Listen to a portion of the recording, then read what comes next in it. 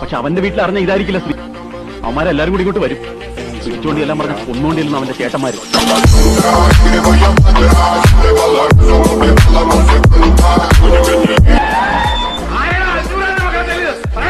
ഞാനിവിടുത്തെ ഓർഡറാണ്